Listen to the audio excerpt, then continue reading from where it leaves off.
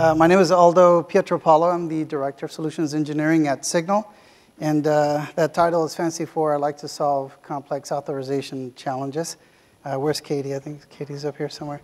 But um, what uh, I focus on is basically on, um, in this particular context, the OWASP top 10. And I focus on actually mitigating some of those uh, hacking attempts. So if you were here for the previous talk, uh, all these approaches or you know uh, vectors uh, are very common, quite common. In fact, I'm working on a project now that, that has those, and frankly, uh, some interesting vectors with cloud service providers dealing with hosting APIs. But these are your, your top 10. Um, you know, first and foremost, some of the big ones that I particularly see is the broken object level authorization um, and the object property one uh, are very common that I see uh, quite often.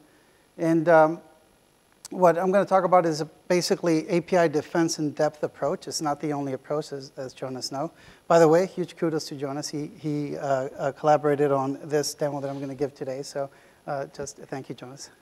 Um, and these three layers basically um, allow uh, somebody to establish um, an API defense in depth approach where each layer of protection against uh, API hackers has to yield a green um, uh, status uh, at each layer, starting with the authentication layer or the identity provider layer um, and the OAuth, OIDC protocols and so forth. Yes, there's some possible vulnerabilities there with OAuth and so forth, but um, it's heavily used in the industry today, um, as well as OIDC. Then uh, the other um, major layer in the API defense in-depth approach is what we uh, call the API gateway or uh, uh, a platform like Kong that uh, accepts requests uh, for an API resource or endpoint and orchestrates that request to the actual API provider, uh, the API itself.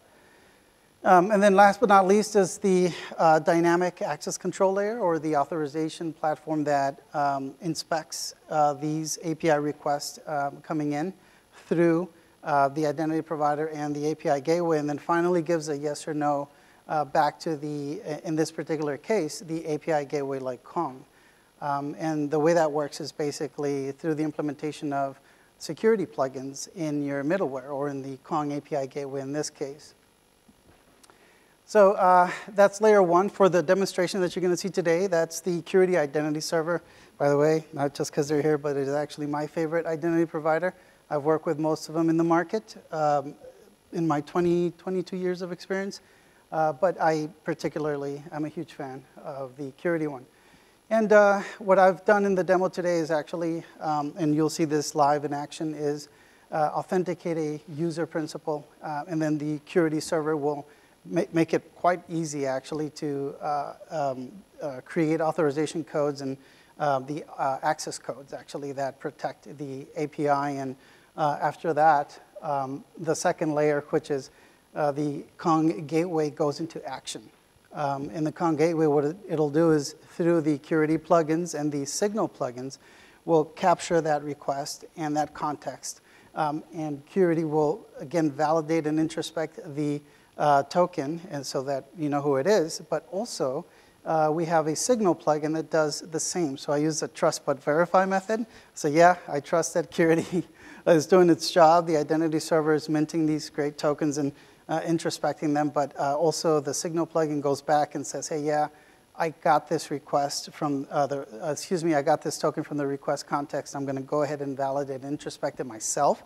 In fact, that's how the authorization uh, platform gets the identity, the principle of who's actually making the API call. Um, and that's very, that's very important because the uh, API defense in depth um, approach uh, is literally just that, a layered approach. So the deeper you go, the more access control uh, you need, and in our case, the more dynamic access control you need regarding on the context. So if the user is in Europe or the user in the US, what type of API the user is trying to access, what, what does the payload look like? You know, do I, is there, uh, is there an access token in the request? Oh, there isn't? Well, that's, that's the identity server's job to in, you know, go back and, and uh, uh, re-challenge the user. And uh, this particular layer also supports uh, encryption as well. Um, and there's a bunch of plugins that you guys haven't been uh, aware of the Kong um, platform or API gateway, they also support a variety of security plugins that do much more than just you know, authentication and, and, and authorization. So uh, la layer three is really important, as was highlighted in the previous session, right? Because if you don't have authorization at the object level or at the object property level, uh, it can get very complex to implement author authorization logic directly in your APIs themselves.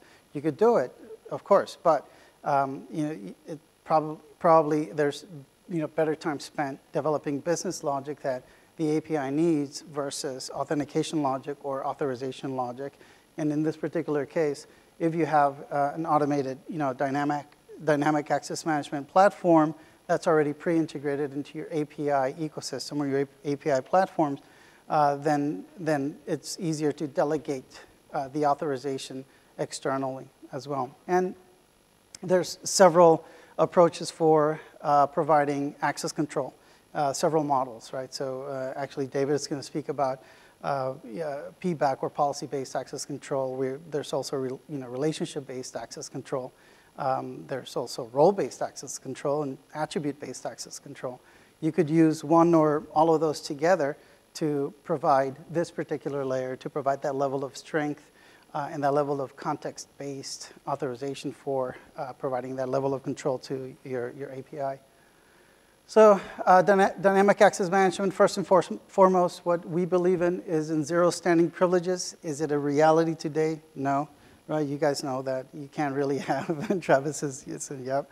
Uh, you guys know that, uh, but it's kind of, you know, everybody has to have a dream. You know, I have a dream to, to get to zero st standing privileges.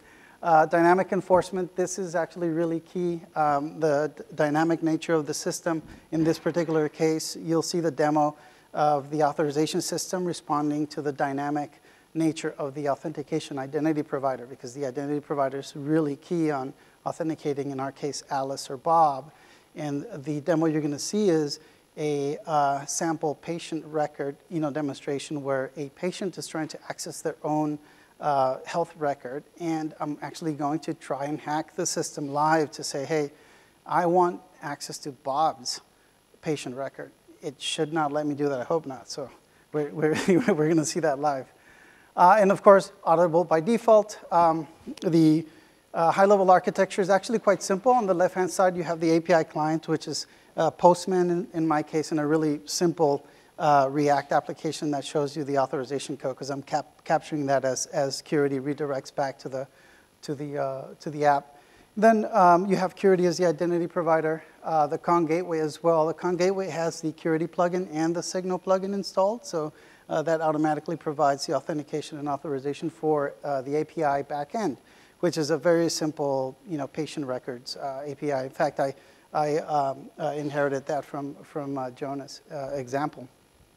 And uh, on the bottom side is SGNL. Uh, it's, SGNL is actually based on um, two major concepts. One is it, ingests uh, systems of record or data from systems of record. In this demo, I actually ingested data, uh, metadata for the uh, patient records from a CSV.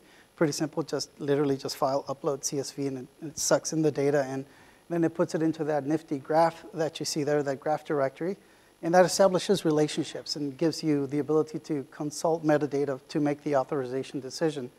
Then you have the policy engine, which responds to queries from the protected system, in this case, Kong and um, others, and the policy management, which allows you to create policy as well.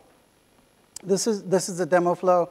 Basically, uh, quite simple. You uh, authenticate with the identity provider, which is Curity, um, and then you send that uh, code that you received back from the authentication process in through the Kong API gateway. The Kong API gateway gets that um, access code or access token, excuse me, um, and then it, it, the Curity plugin introspects that, validates that, makes sure that is active because you don't want a request coming in and through the gateway that is not active. In fact, if it's not active, automatically the request is invalid. But what if the uh, request is active? but accessing the, the wrong patient's uh, record. That's where the SGNL plugin call comes in because after Curity says, yep, is good to go, this is, this is good from an authentication perspective, the uh, SGNL plugin kicks in and says, well, just wait a second here. let me see who this is. It, it calls Curity again and says, oh, this is Alice. And then it calls SGNL, this, that access service that you saw, and asks, is Alice able to access this particular patient record? They're trying to get to this record.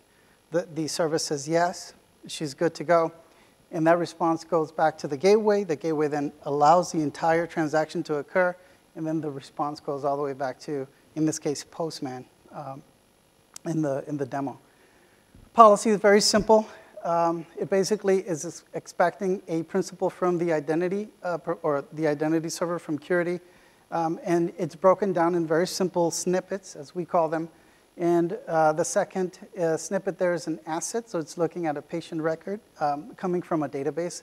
Now, it's not the patient record itself, it's information about the patient. It's, it's uh, um, patient, uh, basically public information, non-personal identifiable information that uh, represents the patient, but also the relationships with the different uh, record identifiers in, in, in, the system. And then last but not least is a conditional snippet that checks whether the uh, person that's making the request is, the, in fact, an owner of that uh, patient record. If that's the case, then uh, the whole system goes through. So let's watch this uh, in action. Let me bring this up here. Okay. And the conference there, that's us. And my eyes are pretty bad, so my apologies. All right, so what we're going to do here is, let me actually log into all the systems.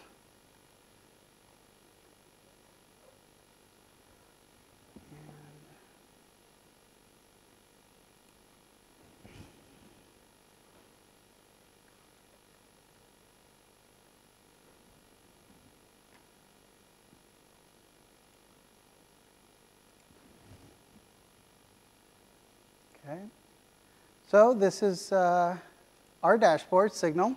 Um, and you see here, uh, we have policies, protected systems, and systems of record. Uh, we have the Kong API gateway here. And within the Kong API gateway, we have that active policy. Here are the little snippets that uh, we were talking about earlier, where it checks for the principal, and it checks for the actual HTTP verb. So in this case, is get. Um, and then it checks for the uh, asset, you know, what, what asset are we dealing with, which is a patient record in this case, and then the condition, whether or not the uh, person is the same person that owns uh, that, that record. Um, and of course, we have the identity server here.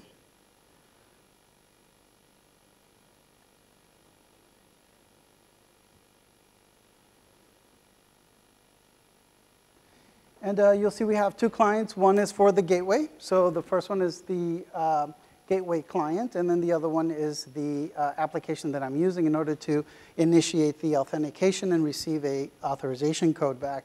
And you'll see that uh, the capabilities there, by the way, um, uh, sorry guys, a, a, a, shameless plug here, but uh, one, one of the things that I like is this particular view because it quickly gives me a view of the client authentication necessary and the user authentication necessary and authorization as well, including the scopes that are, that are needed. So one thing that the server is doing, the identity server, is actually it has a record scope where um, when I ask for the authorization code, it includes the right uh, information in my tokens as they're being minted by the identity server. But uh, anyways, that's the uh, Curity identity server. And then uh, you have a little React uh, app that I wrote uh, in about two minutes real quick. Very simplistic. What this does, it basically uh, gets the authorization code. Uh, there's currently no authenticated user, so if I click on get authorization code, you see that the uh, identity source says, okay, great. Um, you're asking for uh, this, oh, this is OAuth interaction, by the way. Who's the user that you want to authenticate? And I want to authenticate Alice. Uh, let me see here. Oops, no, sorry. Trying to log in clicked on the wrong, there we go.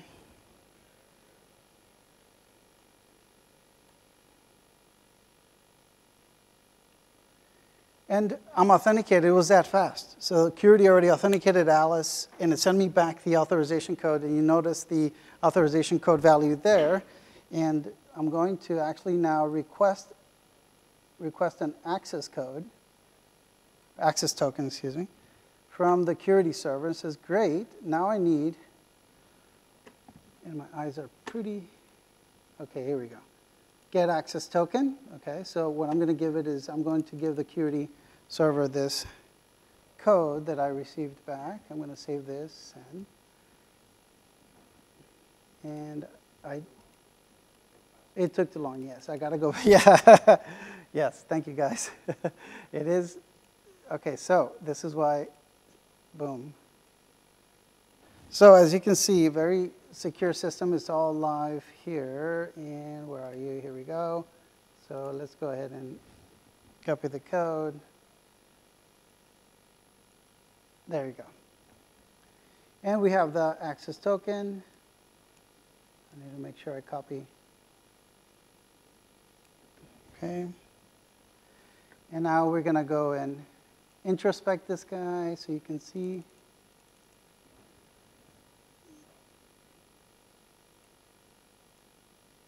And you see that that token is actually Alice. That's the subject that we're interested in. Now I'm going to go for the patient record. So I'm going to say, get me the record with ID, ID 1. And sure enough, it says SGNL unauthorized. That patient record is for Bob. But since I'm making a request as Alice, it's, it's not authorizing me. So notice, I am an authenticated user, but I'm trying to get Bob's record. I shouldn't have access to that. I shouldn't be authorized. So that's actually SGNL at work. Now, what if I go for zero, patient zero? Uh, that's, that should be Alice. Yeah, and I do, I do get her, I do get her record. Now, um, going back to SGNL, you, you should see here in the logs, you see a bunch of um, authorization records or, or authorization logs. So notice you get the first deny, so it's Alice coming in, and then you get the uh, allow for the asset ID of zero. The first deny was uh, for the asset ID of one, but that's, that's Bob's. Excuse me. And just to mix it up a little bit here, let's actually kill the session for, for Alice and establish a new one. But this time, we're going to be Bob.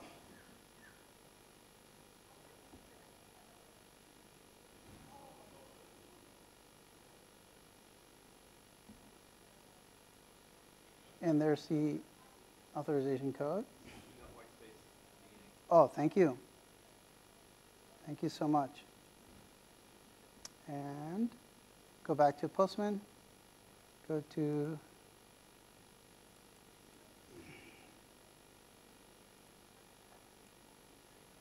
Awesome.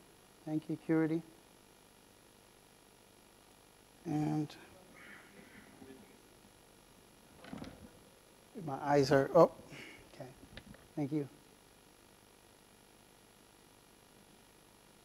You just do that. Just right there, right? And let's see who's in this. Let's go ahead and introspect this guy. And yeah, it's Bob. So let's go for a record. And Bob, uh, oops, I didn't save that token.